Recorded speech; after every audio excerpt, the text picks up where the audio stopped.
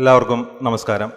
ആദ്യം തന്നെ മാർസിസം മാനവികമോ എന്ന സബ്ജക്റ്റിൽ ഒരു സംവാദത്തിന് എന്നെ ക്ഷണിച്ച എസൻസ് ഗ്ലോബലിന് നന്ദി പറയുന്നു. കൂടാതെ ഈ വിഷയത്തിൽ സംവദിക്കാൻ ഇവിടെ എത്തിച്ചേർന്ന ടി എൽ സന്തോഷിനെയും മോഡറേറ്റർ സുശീൽ കുമാറിനെയും ഈ പരിപാടിയിലേക്ക് സ്വാഗതം ചെയ്തോളും വിഷയത്തിലേക്ക് കടക്കാം. മാർസിസം മാനവികമോ എന്ന ചോദ്യത്തിന്റെ ഉത്തരമായിട്ട് പറയാനുള്ളത് തന്നെ നമ്മളുടെ ഈ പരിപാടിയുടെ ടാഗ് ലൈനായിട്ട് നമ്മളിവിടെ പുറകിൽ കൊടുത്തിട്ടുണ്ട്. Individual is important individual important ആണ് എങ്കിൽ മാർസിസം മാനവികമല്ല എന്നതാണ് എനിക്ക് ആദ്യം തന്നെ പറയാനുള്ളത്. നമുക്ക് മാർസിസത്തിനെ മുഴുവനായി വിശദീകരിക്കാനുള്ള ഒരു സമയം ഇവിടെ ഇല്ല. ആദ്യത്തെ സെഷൻ പതിനഞ്ച് മിനിറ്റ് ആണ്. എന്നാലും എന്താണ് മാർസിസം എന്ന് വളരെ ചെറിയ ചുരുങ്ങിയ വാക്കുകൾ പറഞ്ഞുകൊണ്ട് തുടങ്ങിയതിന് ശേഷം എന്തുകൊണ്ടത് മാനവികമല്ല എന്ന് വിശദീകരിക്കാൻ ശ്രമിക്കാം കാൾ മാക്സ് കമ്മ്യൂണിസ്റ്റ് മാനിഫെസ്റ്റോ എഴുതുന്നത് ആയിരത്തി എണ്ണൂറ്റി നാൽപ്പത്തി എട്ടിലാണ് അതിനുശേഷം അദ്ദേഹം മരിക്കുന്നിടം വരെ ദാസ് ക്യാപിറ്റൽ എഴുതിക്കൊണ്ടേയിരിക്കുകയായിരുന്നു. ഈ രണ്ട് പുസ്തകങ്ങളിലും അതുപോലെ German ideology critique of Gotha programme തുടങ്ങിയ പുസ്തകങ്ങളിലൂടെയൊക്കെ അദ്ദേഹം മുന്നോട്ട് വെച്ച ആശയമാണ് മാർസിസം എന്ന പേര് നമ്മൾ അറിയപ്പെടുന്നത്. അത് മാർസിന്റെ പുസ്തകങ്ങൾ മാത്രമല്ല മാർക്സും ഫ്രെഡറിക് ഏംഗൽസും കൂടെ ചേർന്ന് എഴുതിയ ഒരുപാട് പുസ്തകങ്ങളുണ്ട്. ഏംഗൽസ് സ്വന്തമായി പുസ്തകങ്ങൾ എഴുതിയിട്ടുണ്ട്. എങ്കിലും അതിനറിയപ്പെടുന്നത് മാ- മാർക്സിസം എന്ന രീതിയിലാണ്. അതിനുശേഷം ലെനിൻ അതിൽ കൂടിച്ചേർക്കലുകൾ നടത്തുന്നുണ്ട്. അപ്പോൾ ഇവർ മുന്നോട്ട് വെച്ച ആശയ പരിസരത്തെയാണ് നമ്മൾ മാർസിസം എന്ന് പറയുന്നത്. അപ്പോൾ എന്താണ് മാർസിസം? മാർസിസം എന്ന് പറഞ്ഞു കഴിഞ്ഞാൽ ചരിത്രത്തെ ചരിത്രത്തെ വിശദീകരിക്കാൻ ശ്രമിക്കുകയും ചരിത്രത്തെ വിശദീകരിച്ചതിന് ശേഷം ചരിത്രത്തിൽ നിന്നും ചരിത്രത്തെ മുന്നോട്ട് നയിക്കുന്ന ഒരു ജനറൽ ലോസ് അതായത് ഫിസിക്സിൽ ന്യൂട്ടൺ കണ്ടെത്തിയതുപോലെ പരിണാമത്തിൽ ഡാർവിൻ കണ്ടെത്തിയതുപോലെയുള്ള ലോസ് ചരിത്രത്തിലുണ്ടെന്നും ചരിത്രം ആ ലോസ് വഴിയാണ് മുന്നോട്ട് പോകുന്നതെന്നും ഉള്ള ഒരു പുതിയ വിശദീകരണമാണ് മാർസ് മുന്നോട്ട് വെച്ചത്. ആ വിശദീകരണം മുന്നോട്ട് വെക്കുമ്പോൾ തന്നെ മാർസ് പറയുന്നുണ്ട് ഇതുവരെയുള്ള ചരിത്രകാരന്മാരല്ലേ ചരിത്രത്തെ വിശദീകരിച്ചത്? ഏതെങ്കിലും മഹാന്മാർ ചെയ്ത പ്ര- പ്രവർത്തനങ്ങളായിട്ടോ അല്ലെങ്കിൽ ഏതെങ്കിലും യുദ്ധത്തെ അടിസ്ഥാനപ്പെടുത്തിയിട്ടോ അല്ലെങ്കിൽ ഏതെങ്കിലും പ്രകൃതി ദുരന്തങ്ങളെ അടിസ്ഥാനപ്പെടുത്തിയിട്ടുള്ളൂ അങ്ങനെ എന്തെങ്കിലുമൊക്കെ കാര്യങ്ങൾ കൊണ്ടാണ് അവർ ചരിത്രത്തിന്റെ അഹ്, മാറ്റങ്ങളെ വിശദീകരിക്കാൻ ശ്രമിച്ചത്. എങ്ങനെ അങ്ങനെയല്ല യഥാർത്ഥത്തിൽ ചരിത്രം മുന്നോട്ട് പോകുന്നത് മറ്റൊരു രീതിയിലാണ്. അതിന്റെ ലോസ് താൻ കണ്ടെത്തി എന്നുള്ളൊരു അവകാശവാദമാണ് യഥാർത്ഥത്തിൽ മാർക്സിസം അപ്പോൾ എന്താണ് മാർസ് മുന്നോട്ട് വെക്കുന്നത്? അത് വൈരുദ്ധ്യാത്മക രീതിയിലുള്ള ഭൗതികവാദത്തിലൂടെ ചരിത്രം ഇങ്ങനെ മുന്നോട്ട് പോവുകയാണ്. അത് എന്തിന്റെ അടിസ്ഥാനത്തിലാണ് മുന്നോട്ട് പോകുന്നത്? അത് മെറ്റീരിയലിന്റെ ദ്രവ്യത്തിന്റെ ദ്രവ്യത്തിന്റെ മാറ്റത്തിലൂടെയാണ് ചരിത്രം മുന്നോട്ട് പോകുന്നതെന്നാണ് പറയുന്നത്. അതായത് ഉൽപാദന ഉപകരണങ്ങൾ മാറുന്നതിനനുസരിച്ചിട്ട് ആണ് ചരിത്രം ഓരോ ഘട്ടത്തിലേക്ക് കടക്കുന്നതെന്ന് അങ്ങനെ ഘട്ടം ഘട്ടമായി വികസിച്ചു വന്ന ചരിത്രത്തിന്റെ ക്യാപിറ്റലിസം എന്ന് പറഞ്ഞ ഒരു സ്റ്റേജിലാണ് നമ്മൾ ഇന്നുള്ളതെന്നും അതായത് അന്ന് പത്തൊമ്പതാം നൂറ്റാണ്ടിലാണെന്ന് എഴുതുന്നത് ആ സമയത്ത് ക്യാപിറ്റലിസത്തിലാണ് നമ്മൾ ഉള്ളതെന്നും. അതിനു മുമ്പുള്ള ചരിത്രം പരിശോധിക്കുകയാണെങ്കിൽ അത് ഫ്യൂഡലിസം ആണെങ്കിലും അതിനു മുമ്പുള്ള അടിമ വ്യവസ്ഥയാണെങ്കിലും എല്ലാം ആണെങ്കിലും അവിടെയെല്ലാം മനുഷ്യൻ വർഗങ്ങളായി തിരിഞ്ഞുകൊണ്ട് രണ്ട് വർഗങ്ങളായിട്ട് തിരിഞ്ഞുകൊണ്ട് അതായത് ഉടമസ്ഥനും ഉടമസ്ഥനല്ലാത്തവനും അല്ലെ ഒന്നുകിൽ അത് മുതലാളി തൊഴിലാളി അല്ലെങ്കിൽ അത് ജന്മി കുടിയാൻ അല്ലെങ്കിൽ അടിമ ഉടമ എന്നുള്ള വ്യവസ്ഥയിൽ. എന്നുള്ള വ്യവസ്ഥയിലെല്ലാം ഓരോ കാലഘട്ടത്തിലും ഉണ്ടായിരുന്നെന്നും ഈ രണ്ട് പരസ്പര വൈരുദ്ധ്യങ്ങളുള്ള രണ്ട് വർഗങ്ങളുടെ സംഘട്ടനത്തിലൂടെയാണ് ചരിത്രം മുന്നോട്ട് പോകുന്നത് എന്നാണ് മാർസ് വിശദീകരിച്ചത്. അപ്പോൾ ആദ്യകാലത്തൊരു പ്രിമിറ്റീവ് കമ്മ്യൂണിസം ഉണ്ടായിരുന്നു. അതായത് നമ്മുടെ മാവേലി നാട് എന്നൊക്കെ പറയുന്നത് പോലെയുള്ള ഒരു കൺസെപ്റ്റ് പക്ഷെ ആ മാവേലി നാടിൽ സമ്പൽ സമൃദ്ധിയൊന്നുമില്ല. പക്ഷെ അവിടെ പ്രശ്നങ്ങളൊന്നുമില്ല. അവിടെ വ്യത്യസ്ത വർഗങ്ങളിലെ എല്ലാവരും എല്ലാം പങ്കിട്ടെടുത്തിരുന്ന ഒരു സമയം.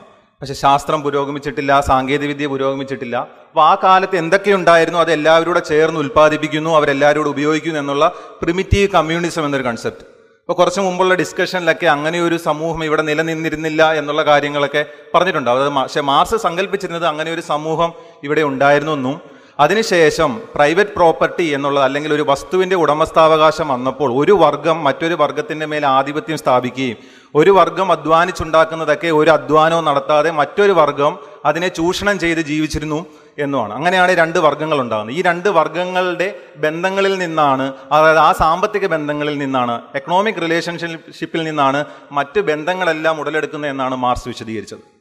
ഈ എക്കണോമിക് റിലേഷൻഷിപ്പിന്റെ മുകളിലാണ് നിയമങ്ങൾ വരുന്നത് കല വരുന്നത് ഭരണകൂടം വരുന്നത് എല്ലാം വരുന്നത്. അതിനാണ് മാർക്സ് സൂപ്പർ സ്ട്രക്ചർ എന്ന് പറഞ്ഞ എക്കണോമിക് റിലേഷൻഷിപ്പിലേക്ക് മറ്റെല്ലാം വന്നു ചേരുന്നു എന്ന് പറയുന്നത്. ഇങ്ങനെ ഘട്ടം ഘട്ടമായി വികസിച്ചിരിക്കുന്ന ക്യാപിറ്റലിസം എന്ന സ്റ്റേജിലാണ് നമ്മൾ ഉള്ളതെന്നും ഈ ഇതുവരെ ഉള്ള ചരിത്രത്തെ നിന്നും നമുക്ക് മുന്നോട്ട് എങ്ങനെ പോകുമെന്നും ഡിറ്റർമിനിസ്റ്റിക് ആയിട്ട് പറയാൻ പറ്റുമെന്നാണ് മാർക്സ് അവകാശപ്പെട്ടത്.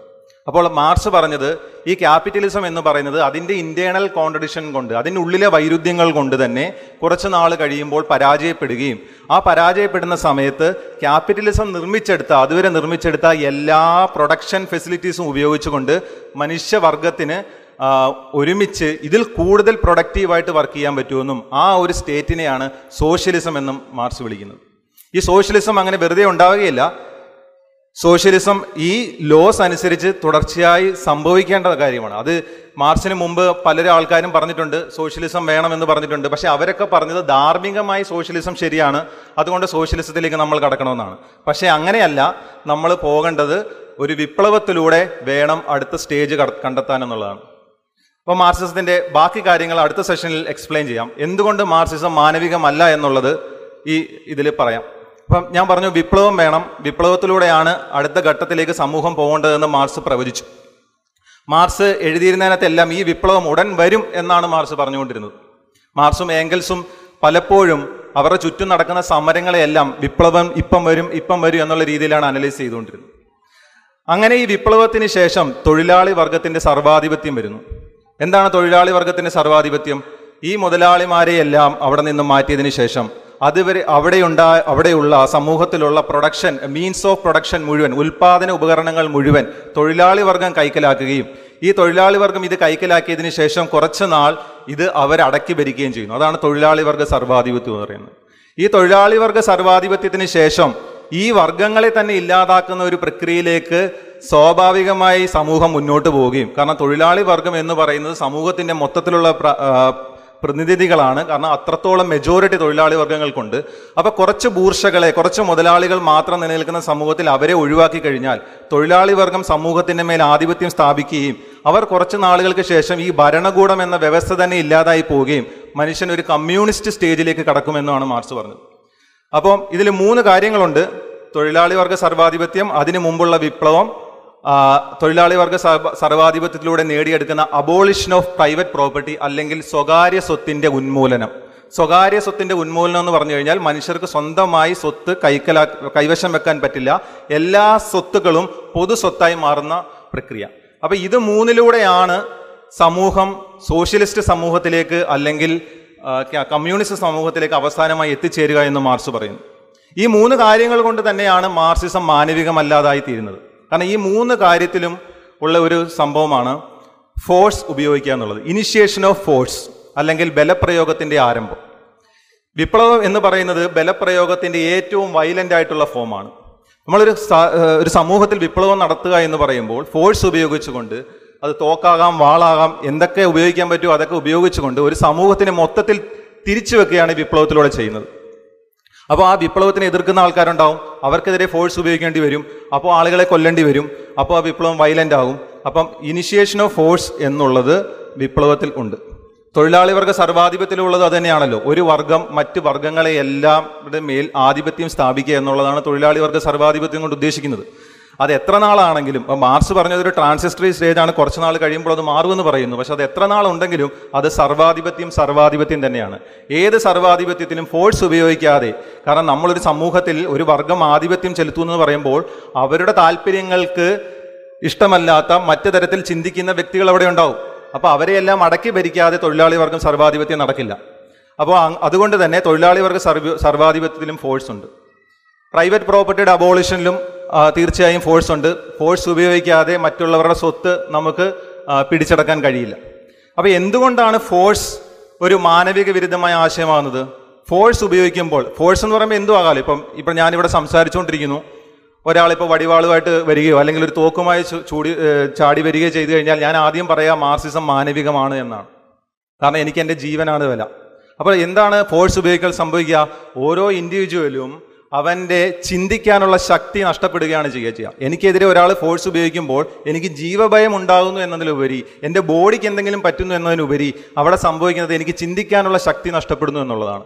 ചിന്തിക്കാനുള്ള ശക്തി നഷ്ടപ്പെടുമ്പോൾ എന്താണ് സംഭവിക്കുന്നത്? നമ്മളുടെ റാഷണാലിറ്റി നഷ്ടപ്പെടുമ്പോൾ നമുക്ക് മികച്ച മൂല്യങ്ങൾ കണ്ടെത്താനെങ്കിൽ ചിന്ത വേണം. നമ്മൾ എല്ലാ കാര്യങ്ങളും ആലോചിച്ച് ചിന്തിച്ച് അന്വേഷിച്ച് കണ്ടെത്തിയിട്ടാണ് നമ്മൾ ഏതാണ് നല്ല ഗുണം ഏതാണ് ചീത്ത ഗുണം എന്നൊക്കെ മനസ്സിലാക്കുന്നത്. അങ്ങനെയാണ് നമ്മൾ മികച്ച മൂല്യങ്ങൾ കണ്ടെത്തുന്നത് മികച്ച ഗുണങ്ങൾ നമുക്കുണ്ടാകുന്നത്. അപ്പോൾ ഫോഴ്സ് ഉപയോഗിക്കപ്പെടുമ്പോൾ ഒരാൾക്ക് സ്വയം ചിന്തിച്ച് തീരുമാനമെടുത്ത ഒരു കാര്യം നടപ്പിലാക്കാനുള്ള കഴിവാണ് അവിടെ നഷ്ടപ്പെടുന്നത്. അതുപോലെ തന്നെ ഫോഴ്സ് ഉപയോഗിക്കുമ്പോൾ അദ്ദേഹം മികച്ച മൂല്യങ്ങളിൽ നിന്ന് മാറുന്നു. റിയാലിറ്റിയിലൂടെ അയാളുടെ ബന്ധം നഷ്ടപ്പെടുന്നു. വൈരുദ്ധ്യത്തെ അംഗീകരിക്കാൻ അയാൾ നിർബന്ധിതനാകുന്നു. അയാളുടെ ജഡ്ജ്മെന്റ് ഉപയോ ഉപേക്ഷിച്ചുകൊണ്ട് ആരാണോ ഫോഴ്സ് ഉപയോഗിക്കുന്നത് അവർ പറയുന്ന വാല്യൂ സിസ്റ്റം ഏറ്റെടുക്കാൻ ഓരോരുത്തരും തയ്യാറാകേണ്ടി വരും. അതുകൊണ്ട് എന്താണ് സംഭവിക്കുക? അയാളുടെ എല്ലാവിധ മികച്ച മൂല്യങ്ങളും നഷ്ടപ്പെട്ട അയാൾക്ക് പിന്നെ മൂന്ന് ഓപ്ഷൻസേ ഉള്ളൂ. ഒന്നുകിൽ ആ രാജ്യം വിട്ട് പുറത്തു പോവുക അല്ലെങ്കിൽ എല്ലാം മറന്ന് ഒരു നിസ്സംഗതനായി സ്വന്തം മനസാക്ഷിയെ വഞ്ചിച്ചുകൊണ്ട് അവിടെ നടക്കുന്ന എല്ലാ കാര്യങ്ങളും അംഗീകരിച്ചുകൊണ്ട് ഒരു ശവം പോലെ ജീവിക്കുക. അല്ലെങ്കിൽ സ്വയം മരിക്കുക ആത്മഹത്യ ഈ മൂന്ന് ഓപ്ഷൻസേ ഒരാളുടെ മുന്നിലുള്ളൂ. അങ്ങനെ ഒരു സമൂഹത്തെ മുഴുവൻ ഇങ്ങനെ തള്ളിയിട്ടു എന്നുള്ളതാണ് മാർസിസം മുന്നോട്ട് വെച്ചത്. അങ്ങനെ ചെയ്യാൻ തയ്യാറായുള്ള ആളുകൾക്ക് വേണ്ടിയിട്ടുള്ള ആശയ പരിസരം സൃഷ്ടിച്ചു കൊടുത്തു. കാരണം വിപ്ലവം അനിവാര്യമാണ് തൊഴിലാളി വർഗ സർവാധിപത്യം അനിവാര്യമാണ് അതുപോലെ തന്നെ പ്രൈവറ്റ് പ്രോപ്പർട്ടിയുടെ നിരാകരണം അനാവ അത് ശാസ്ത്രീയമാണ് അത് എന്തായാലും നടത്തിയേ പറ്റൂ എന്നുള്ള ഒരു വാദത്തിലേക്ക് വന്നപ്പോൾ ഇത് ചെയ് ഈ മൂന്ന് കാര്യങ്ങളും വ്യക്തികളുടെ മേൽ അടിച്ചേൽപ്പിക്കപ്പെട്ടു.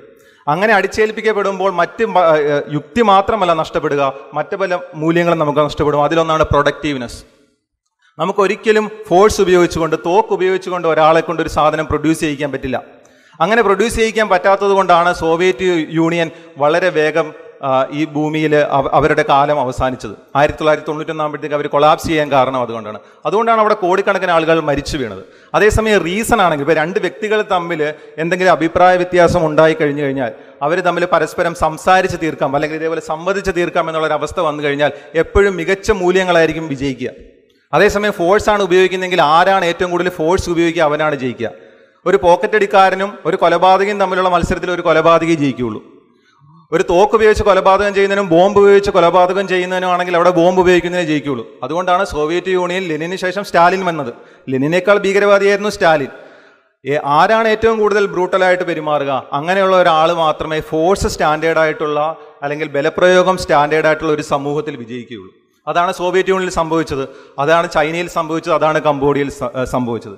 ബ്ലാക്ക് ബുക്ക് ഓഫ് കമ്മ്യൂണിസം എന്ന് പറഞ്ഞൊരു പുസ്തകമുണ്ട്. ആ ഇങ്ങനൊരു പരിപാടി നടക്കുന്നു എന്ന് പറഞ്ഞപ്പോൾ എന്റെ ഒരു സുഹൃത്ത് എനിക്ക് ആ പുസ്തകം അയച്ചു തന്നിട്ട് അത് വായിക്കാൻ പറഞ്ഞു. പക്ഷേ ആ പുസ്തകം ഞാൻ മുഴുവൻ വായിച്ചില്ല. അതിന്റെ ഇൻട്രൊഡക്ഷൻ ഒക്കെ കഴിഞ്ഞപ്പോഴത്തേക്ക് ഞാൻ ആ പുസ്തകം നിർത്തി. കാരണം ആ പുസ്തകം മുഴുവൻ വായിക്കുന്ന ഒരു മനുഷ്യൻ ഒരു ക്രോണിക് ഡിപ്രഷനിലേക്ക് അകപ്പെടും. അത്രമാത്രം കൊലപാതകങ്ങളാണ് ഈ ഐഡിയോളജി കഴിഞ്ഞ ഒരു നൂറ്റാണ്ട് കൊണ്ട് നടത്തിക്കൂട്ടിയത്. മരണത്തിന്റെ സ്ട്രൈക്ക് റേറ്റ് നോക്കുകയാണെങ്കിൽ മാർസിസം പോലെ സ്ട്രൈക്ക് റേറ്റ് ഉള്ള മറ്റൊരു ഫിലോസഫി ഉണ്ടെന്ന് തോന്നുന്നില്ല. ഈ ബ്ലാക്ക് ബുക്ക് ഓഫ് കമ്മ്യൂണിസത്തിലെ ചില കണക്കുകൾ അനുസരിച്ച് നോക്കുകയാണെങ്കിൽ സോവിയറ്റ് യൂണിയനിൽ കൊല്ലപ്പെട്ട ആൾക്കാരുടെ എണ്ണം ഇരുപത് ആണ്. ചൈനയിൽ അറുപത്തഞ്ച് മില്യൺ നോർത്ത് കൊറിയയിൽ രണ്ട് മില്യൺ കംബോഡിയയിൽ രണ്ട് മില്യൺ ഈസ്റ്റേൺ യൂറോപ്പിൽ ഒരു മില്യൺ ലാറ്റിൻ അമേരിക്കയിൽ പോയിന്റ് വൺ മില്യൺ ആഫ്രിക്കയിൽ വൺ പോയിന്റ് സെവൻ മില്യൺ അഫ്ഗാനിസ്ഥാനിൽ വൺ പോയിന്റ് ഫൈവ് മില്യൺ മൊത്തത്തിൽ നോക്കുകയാണെങ്കിൽ പത്ത് കോടി ആൾക്കാരുണ്ടാവും. ഒരു നൂറ്റാണ്ടിന്റെ ഇടയ്ക്ക് പത്ത് കോടി ആൾക്കാരെ കൊന്ന ഒരു ആശയം അത് മാനവികമാണോ എന്ന് പോലും ചർച്ച ചെയ്യേണ്ട ആവശ്യമില്ല എന്നാണ് എനിക്ക് തോന്നുന്നത്. പത്ത് കോടി ആൾക്കാരെന്ന് പറയുമ്പോൾ നിങ്ങളൊന്ന് ആലോചിച്ച് നോക്കുക കേരളത്തിലെ ജനസംഖ്യ എന്ന് പറഞ്ഞാൽ മൂന്ന് കോടിയാണ്. ഓസ്ട്രേലിയയിലെയും കാനഡയിലെയും ജനസംഖ്യ എന്ന് പറഞ്ഞാൽ മൂന്ന് കോടി വെച്ചുണ്ടാവും അത് രണ്ട് വലിയ രാജ്യങ്ങളുടെയും നമ്മുടെ കച്ച് കേരളത്തിന്റെ രാജ്യത്തിന്റെയും കൂടെ ജനസംഖ്യ കൂട്ടിക്കഴിഞ്ഞാൽ ഒൻപത് കോടിയാവുള്ളൂ. അതിൽ കൂടുതൽ ആൾക്കാരാണ് ഈ രാജ്യങ്ങളിലൊക്കെ മരിച്ചു വീണത്. എന്തിനാണ് ഇവരൊക്കെ മരിച്ചു വീണത്? ഇപ്പൊ നമ്മൾ ഫോഴ്സ് ഉപയോഗിക്കുമ്പോൾ നമ്മൾ അയൺറാണ്ട് പറഞ്ഞൊരു കാര്യമുണ്ട്. ഇപ്പോൾ നിങ്ങൾ ഒരാൾ ഫോഴ്സ് ഉപയോഗിച്ച് ഒരാളെ നിർബന്ധിച്ച് ഒരു കാര്യം ചെയ്യിച്ച് അയാൾക്ക് ഒരു നന്മയും നമുക്ക് നേടിക്കൊടുക്കാൻ പറ്റില്ല എന്ന് ഫോഴ്സ് ഉപയോഗിച്ച് ഒരാൾക്ക് നന്മ നേടിക്കൊടുക്കുന്നു എന്ന് പറയുന്നത് നിങ്ങളുടെ കണ്ണ് ചൂഴ്ന്നെടുത്തതിന് ശേഷം നിങ്ങൾക്ക് നല്ല മനോഹരമായ ഒരു ചിത്രം തന്നിട്ട് നിങ്ങൾ ആസ്വദിക്കാൻ പറയുന്നതിന് തുല്യമാണ്. നിങ്ങൾക്കത് അത് നല്ലതാണെന്ന് തിരിച്ചറിയാൻ പറ്റില്ല. കമ്മ്യൂണിസ്റ്റ് അതിൽ ഒരു സ്റ്റെപ്പ് കൂടെ കടന്നിട്ട് നമ്മളുടെ കണ്ണ് ചൂഴ്ന്നെടുത്തിട്ട് നമ്മൾക്കല്ല അവർ ഒരു നല്ല ചിത്രം തരുന്നത്. അവർ പറയുന്നത് നൂറ്റാണ്ടുകൾക്ക് ശേഷം ഇവിടെ ഒരു കമ്മ്യൂണിസ്റ്റ് സൊസൈറ്റി ഉണ്ടാകുന്നു. അവിടുത്തെ മനുഷ്യന്മാർക്ക് ആസ്വദിക്കാനായി നല്ല ചിത്രങ്ങൾ കൊടുക്കാനായി നിങ്ങളുടെ കണ്ണുകൾ ചൂഴ്ന്നെടുക്കുന്നു എന്നുള്ളതാണ്. അതാണ് ഈ ഐഡിയോളജിയുടെ ഏറ്റവും വലിയ പ്രശ്നം. അതിനെയാണ് അതുകൊണ്ടാണ് ഇതിനെ ഏറ്റവും വലിയ മാനവ വിരുദ്ധമായി മാറുന്നത്. ബാക്കി